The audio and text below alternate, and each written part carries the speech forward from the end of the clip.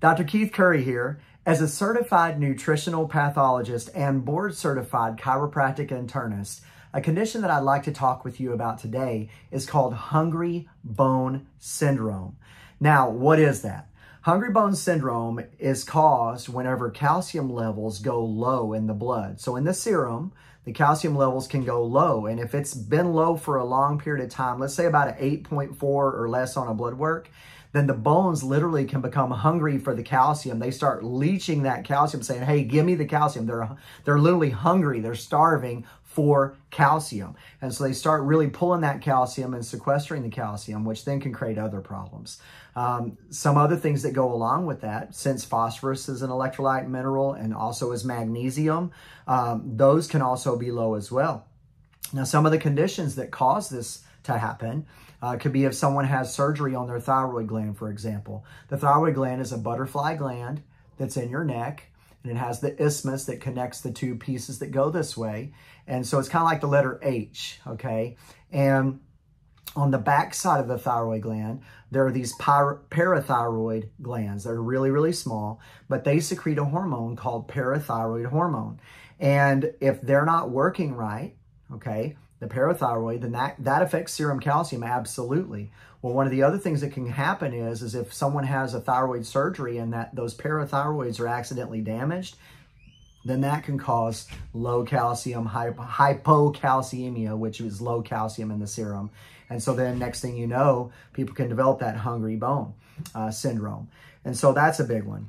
Uh, it's not very common, but it is common in people who are having surgeries, okay? Thyroid surgery, parathyroid surgery, neck surgery, those kinds of things. Um, as far as symptoms are concerned, uh, seizures, muscle cramps, aches or pains, uh, memory, fatigue, um, bone pains even, bone aches, uh, muscular weakness, irritability, um, confusion.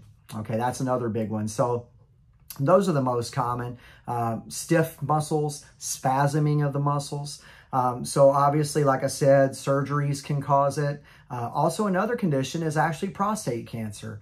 Uh, if prostate cancer metastasizes and moves from the prostate to other parts of the body, then that can spread to the bones and then cause that type of thing uh, to happen where the bones start saying, hey, I'm hungry for calcium.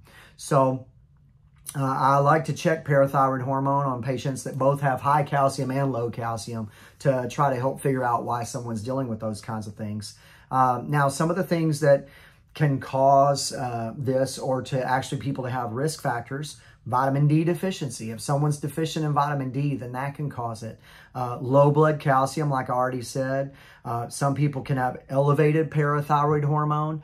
Um, there is a marker on blood work that's called alkaline phosphatase. And alkaline phosphatase levels, uh, if bone is breaking down, then the al al um, alkaline phosphatase, we call it ALK-PHOS, uh, it can elevate on blood work. And so that can be a sign of bone loss. Um, um, thyroid surgery, like I said. Um, believe it or not, being overweight, obesity can cause this or li be linked to it. Um, high, high blood urea nitrogen. So BUN on a blood work, B-U-N. If you see elevated BUN, then that can actually be a, a sign that something like this could be occurring. Now, really what BUN is, is it's a waste product. It's a byproduct of pro protein breakdown. It's urea, nitrogen, blood urea nitrogen. And so you don't want to see that go too high. Uh, obviously, tumors are a big one that can be linked to that.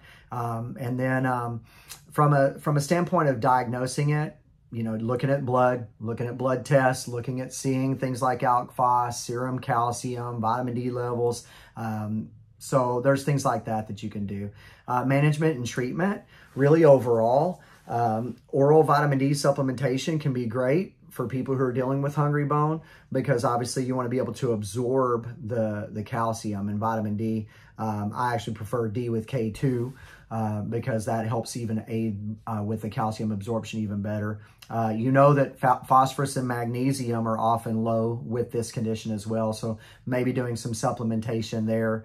Um, oral calcium. Um, now, I usually don't go hardcore with oral calcium with a patient because um, too much calcium in the body can also be a really bad thing. Uh, it can cause more plaquing to build up in the arteries. It can cause uh, more arthritis. Uh, because when the body tissues are inflamed, then they can start laying up calcium deposits, um, and then you, it can actually create some more arthritis.